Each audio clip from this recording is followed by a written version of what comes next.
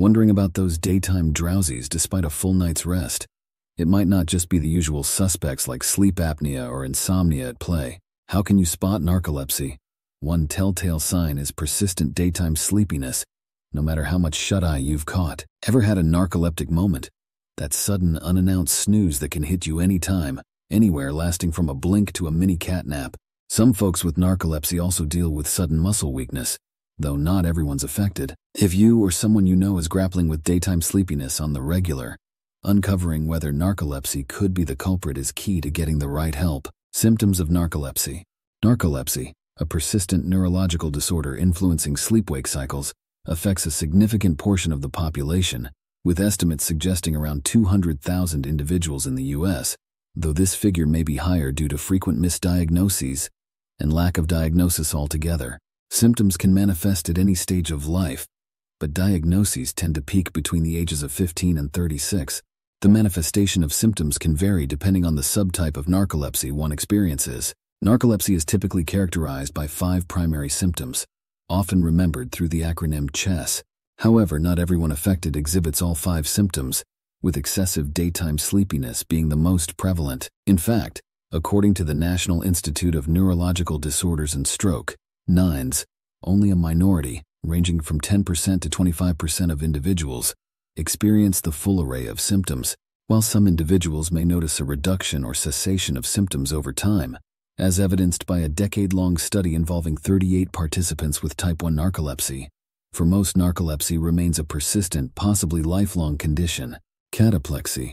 Cataplexy, unique to type 1 narcolepsy, involves a sudden brief loss of muscle control, often triggered by intense emotions such as laughter or anger. Research indicates this phenomenon stems from a disruption in brain circuitry between the hypothalamus, associated with sleep, and the amygdala, linked to emotions, impacting hypocretin levels, typically lasting only minutes. Cataplexy resolves spontaneously without any loss of consciousness.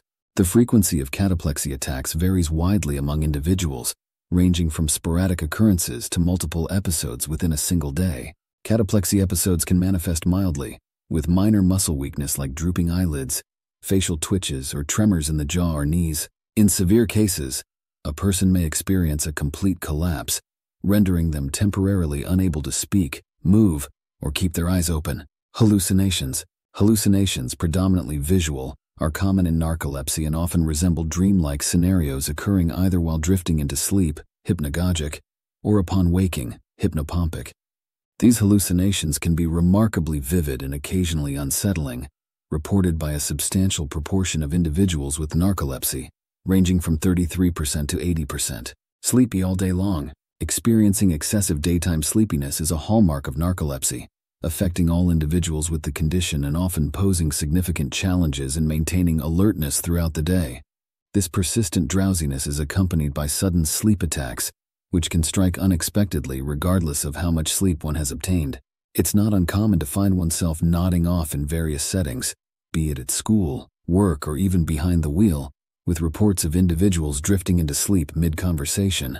These episodes of sleepiness can manifest as brief intervals of unconsciousness, known as microsleeps, lasting mere seconds to minutes. Many affected individuals find temporary relief through short daytime naps, albeit fleeting. Sleep paralysis, Sleep paralysis is another common symptom, characterized by a sensation of immobility during the transition between wakefulness and sleep, typically fleeting, lasting only seconds to minutes.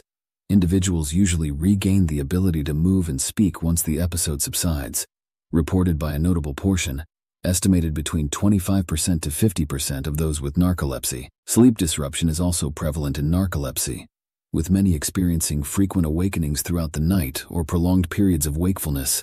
While waking up during the night is not uncommon for most, individuals with narcolepsy may find themselves grappling with interrupted sleep patterns at a higher frequency, with estimates ranging from 30% to 95%. Other symptoms Apart from the primary symptoms, narcolepsy can also manifest through several other notable indicators fragmented sleep and insomnia, Individuals may experience sleep disturbances marked by vivid dreams, sleep apnea, difficulty falling or staying asleep, insomnia, restless leg movements, and instances of acting out while in a dream state. Automatic behaviors. engaging in activities such as eating, talking, typing, or driving automatically for a brief period after falling asleep, without conscious awareness of doing so. Risk factors and cause. The underlying cause of type 1 narcolepsy is better understood compared to type 2. In type 1 narcolepsy, there's a significant loss of brain cells responsible for producing hypocretin, also known as orexin, a neurotransmitter crucial for regulating sleep-wake cycles. Some individuals with type 1 narcolepsy experience a reduction in hypocretin-producing cells of up to 80% to 90%, leading to disruptions in the brain's ability to maintain alertness and wakefulness during the day. On the other hand, the precise cause of type 2 narcolepsy remains elusive. Unlike type 1, type 2 narcolepsy isn't characterized by reduced hypocretin levels or cataplexy. While some cases of type 2 narcolepsy have been linked to viral infections, further research is necessary to fully comprehend its origins. Several factors can elevate the risk of developing narcolepsy. Genetics. Certain genetic factors, such as the human leukocyte antigen HLA-DQB10602, have been associated with an increased susceptibility to narcolepsy. Autoimmune disorders. Individuals with autoimmune conditions may have a heightened risk of developing narcolepsy. Family history. First degree relatives of individuals with type 1 narcolepsy are significantly more likely, with estimates ranging from 10 to 40 times, to develop narcolepsy compared to the general population. Treatment. Treatment options for narcolepsy encompass a variety of approaches aimed at managing symptoms and improving quality of life. Medications, including stimulants and alerting antidepressants, are commonly prescribed to alleviate symptoms. Additionally, behavior therapy and counseling can be beneficial in addressing specific challenges associated with narcolepsy. Implementing lifestyle modifications can also contribute to symptom management. Scheduling short naps during the day, for instance, can help alleviate daytime sleepiness and enhance overall alertness.